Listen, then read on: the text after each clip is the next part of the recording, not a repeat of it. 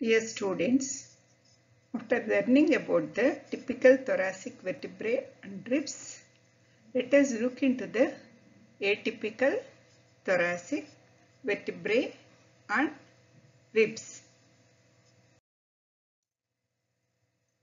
You have learned the characteristic features of the typical thoracic vertebra, wherein you have found the costal facets, two of which are seen on the body and one of it is seen on the transverse process. The facets on the body are the demifacets and one is superior nearer the superior part of the body on its lateral surface and the other one is the inferior towards the inferior border of the lateral surface of the body of typical thoracic vertebra and the facet on the transverse process. So these three facets are for articulation with the corresponding facets on the typical rib. This is what you have learned in the previous class on thoracic vertebra and the ribs that are typical. Then what are the atypical thoracic vertebrae? So the atypical thoracic vertebrae are the first, ninth and tenth to twelfth thoracic vertebra. So they are the atypical vertebra and how they are atypical when compared to the typical thoracic vertebra. Let us learn a gist of it first. So the T1 vertebra, it has got the superior costal facet which is not a demi facet. It is a full facet for articulation with the head of the first rib. Coming to the T9 thoracic vertebra. So it has got a single costal demi facet. The 10th thoracic vertebra has a single complete costal facet which is located partly on the body and partly on the pedicle. Coming to the 11th and 12th thoracic vertebrae, they have a single complete costal facet on the pedicle and they have no facet on transverse process. So this is in just about the features of atypical thoracic vertebrae. Now let us see the first thoracic vertebra. It has the body that resembles the cervical vertebra and the spine of it is thick and almost horizontal and it presents the superior vertebral notch which is well marked. And if you see the facet and the lateral aspect in relation with the body there is the complete facet you are seeing and this is the demi facet and you can see the vertebral foramen and the body of it the transverse processes and spine you are seeing. So, see the body of it. It will resemble that of the cervical vertebra and the superior vertebral arch which is well marked and the spine is thick and horizontal in the first thoracic vertebra. And let us see the other features of it. So it has got the costal facets. So superior is complete, the inferior is a demi facet and you can see the body, the raised edges you can observe. After learning about the first thoracic vertebra, let us focus on the ninth thoracic vertebra. This is the lateral view of the body of the vertebra you are seeing and you are seeing only one demi-facet. The lower demi-facet is absent and this vertebra connects with only ninth rib and not with the tenth rib. And this is the facet on the transverse process of the ninth thoracic vertebra for a corresponding facet on the tubercle of the ninth rib.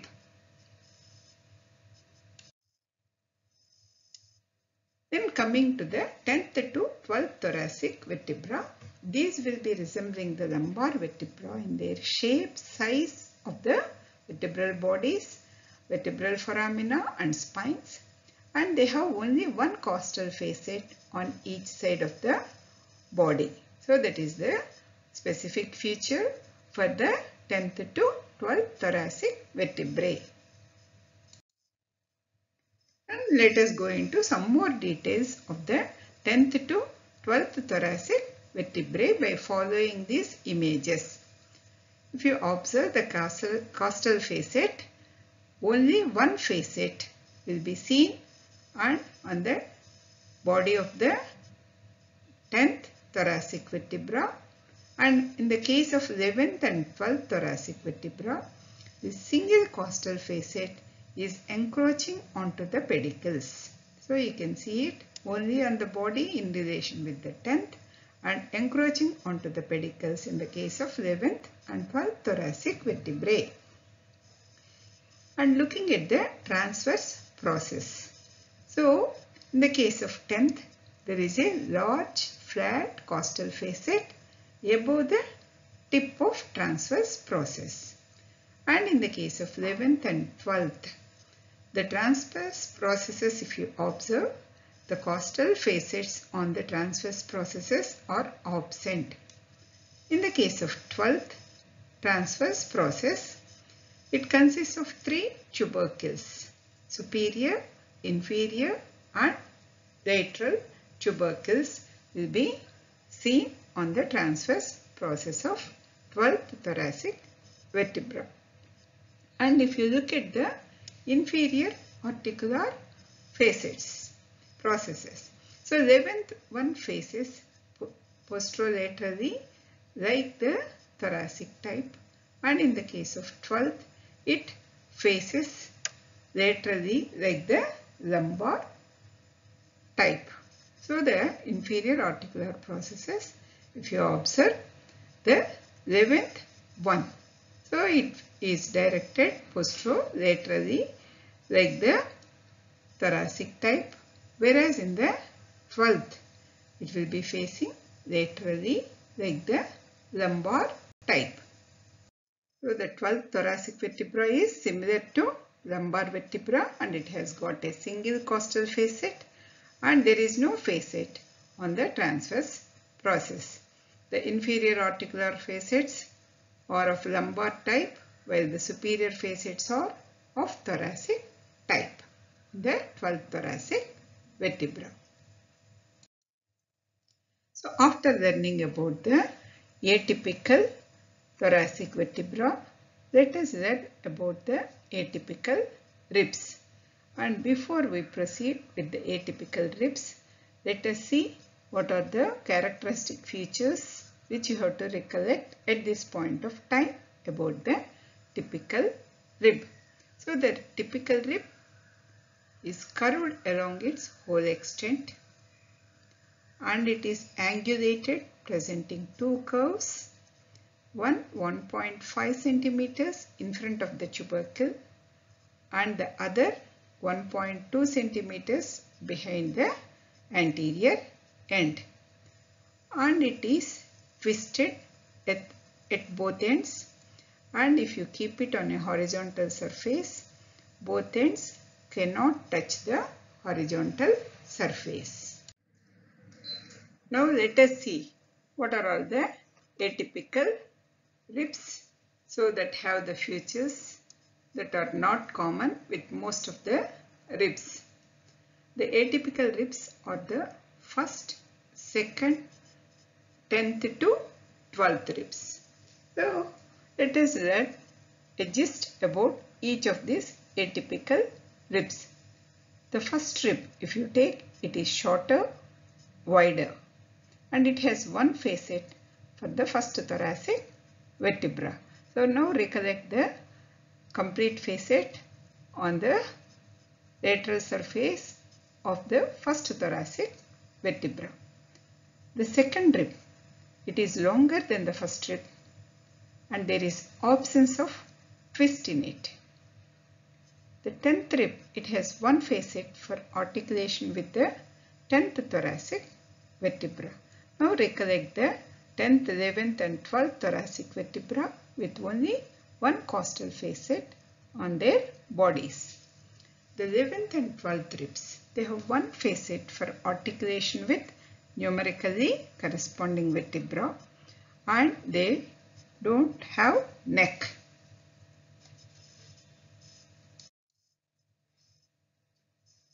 So coming to the first rib. So it is the shortest, strongest, broadest and most curved of all the true ribs. And its shaft, it is not twisted because it presents only sharply curves, curved. The flattened from above downwards. That is the another feature of it. So shortest, strongest, broadest and most curved of it with sharp curves and there is no twist and flattened from above downwards. To determine the side of it, the anterior end is thicker and larger and it is pitted. The posterior end is small and rounded. So this is the vertebral end and this is the sternal end of it which comes in contact with the first costal cartilage through which it articulates with the manubrium sterni. The presenting parts, if you observe, the shaft has two surfaces, the upper surface and lower surface, not the outer surface and the inner surface as in typical rib. And if you see the borders, it has got outer border and inner border. So when compared to typical ribs which will be having an upper border and a lower border. So the anterior and posterior ends you could identify. The anterior end is thicker and larger than the other ribs. If you observe the posterior end, head is small and rounded. The neck is rounded and directed laterally upwards and backwards. The tubercle is large. It coincides with the angle of the rib. So, the anterior end is thicker and larger than the other ribs. Posterior end, if you observe, the head is small and rounded.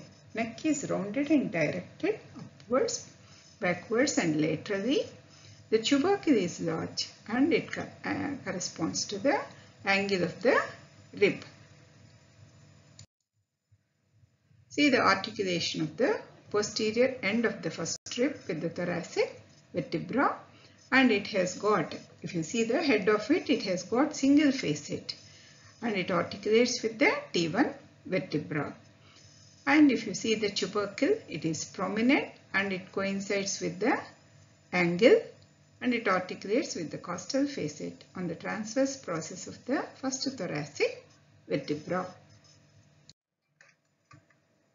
And if you observe the upper surface of the first rib, it is marked by two shallow grooves separated by a ridge. And the lower surface is smooth and it has got no costal groove. And outer border is convex, thick behind and thin in front. The inner border is concave and presents an enlargement called the scalene tubercle. So the upper surface is having two shallow grooves, one for an artery and one for the vein which we will see a little later and it has got a, the lower surface which is smooth and without a costal groove. The outer border is convex, thick behind and thin in front. The inner border is concave and presents a tubercle called the scalene tubercle. Now observe the upper surface which has got the scalene tubercle. And this is for the insertion of the scalenus anterior muscle. And there is a groove in front of the scalene tubercle and in which it is related to the subclavian vein. Subclavian vein is lodged in this groove anterior to the scalene tubercle and posterior to the scalene tubercle there is a groove in which we will see the subclavian artery along with lower trunk of brachial plexus.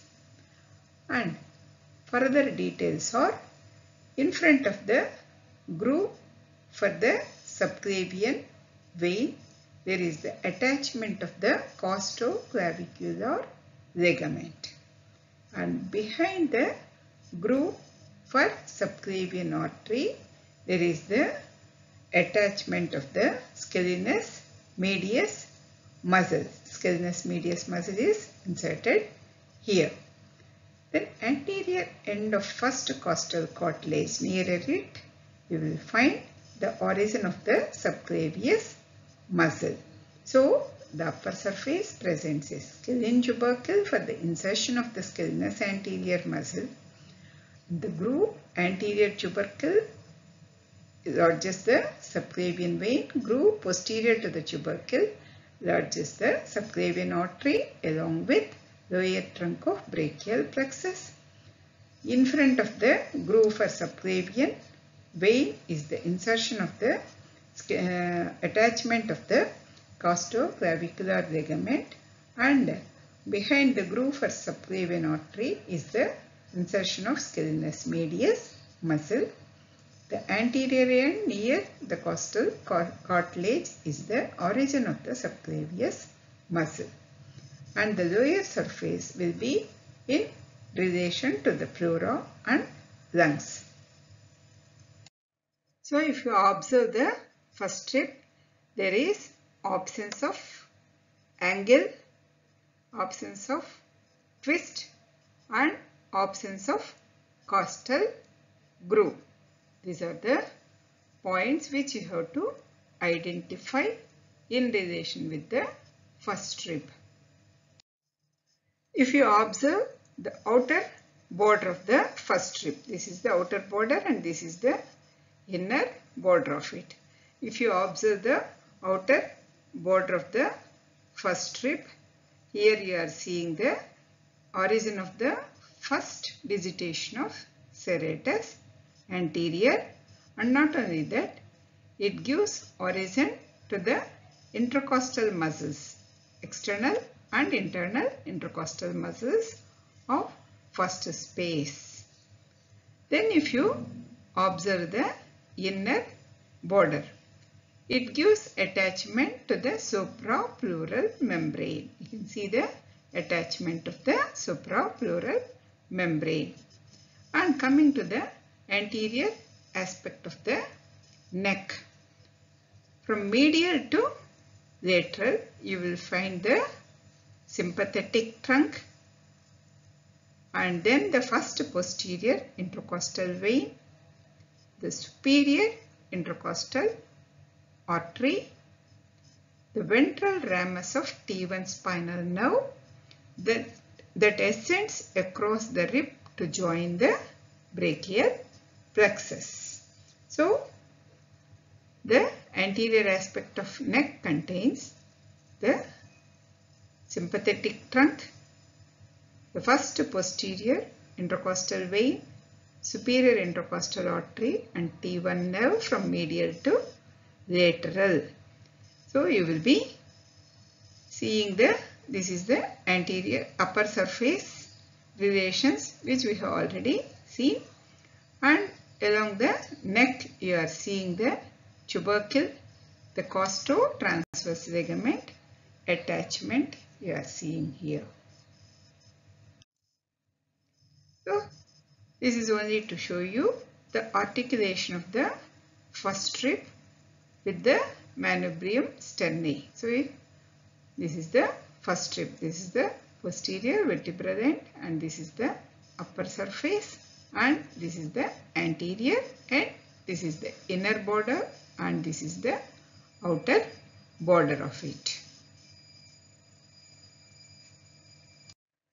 Coming to the second rib, this is thinner and twice longer than the first rib. The non-articular part of the tubercle is small in this rib The angle is right and situated close to the tubercle. The shaft is not twisted. Both ends will touch the horizontal surface and it has got the outer surface which is facing laterally and upwards and it gives attachment to the scalenus posterior and serratus posterior superior. So you can see the scalenus posterior and serratus posterior superior getting inserted onto the outer surface. And the origin of the first and second digitations of serratus anterior also you can see on the outer surface. The inner surface is related to the pleura and lungs. And if you observe the last three thoracic vertebrae, they are lacking the facets on transverse processes and the ribs associated with them are also lacking the tubercles. The articulation is solely between the head of the rib and the demi facet. So the 11th and 12th ribs, they are different from the 10th one.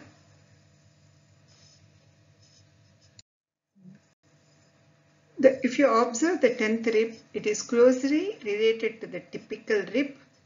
It is shorter and it has single facet on head for articulation with the body of 10th thoracic vertebra.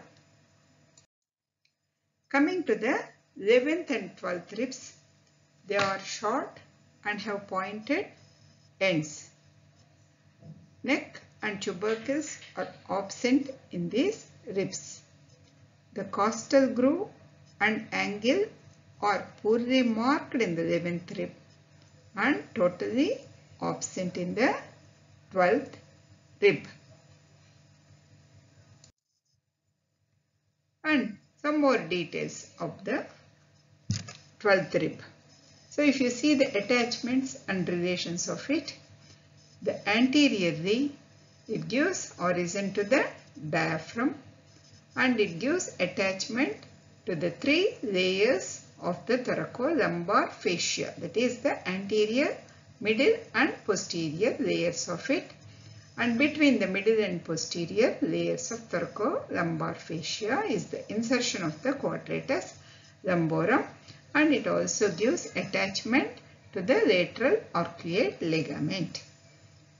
Then coming to the posterior attachments. If you see, you can see the erector spinae insertion. Then the origin of the latissimus dorsi, a slip to the latissimus dorsi is given by this rib. And then to the external oblique muscle of abdomen, the origin for the external oblique muscle of the abdomen. Then to a slip to the serratus posterior inferior muscle. So the origins for the latissimus dorsi, external oblique, abdomen and the serratus posterior inferior muscles. Then insertion to the erector spinae muscles and to levator costae lower part of it. Then it is related to the pleura that is the costo-diaphragmatic pieces of pleura. The other attachment is the lumbocostal ligament for the 12th rib. So now you know the atypical ribs and the atypical thoracic vertebra in detail. After learning about the atypical ribs, let us consider about the supernumerary ribs which are seen in the lumbar region and in the cervical region. If they are in the lumbar region, that lumbar rib is known as the gorilla rib and it will grow from the costal element of the components of any of the lumbar vertebra, most common being the L1 vertebra. But in this picture, you are seeing it coming from the fourth lumbar vertebra. The lumbar rib is more common than the cervical rib but it remains undiagnosed as it will not cause any symptoms and it can be mistaken for fracture of the transverse process of that concerned lumbar vertebra. The other supernumerary rib is the cervical rib. And the cervical rib it grows from the costal element components of the C7 vertebra. And the incidence of which is 0.2 to 0.5 percent.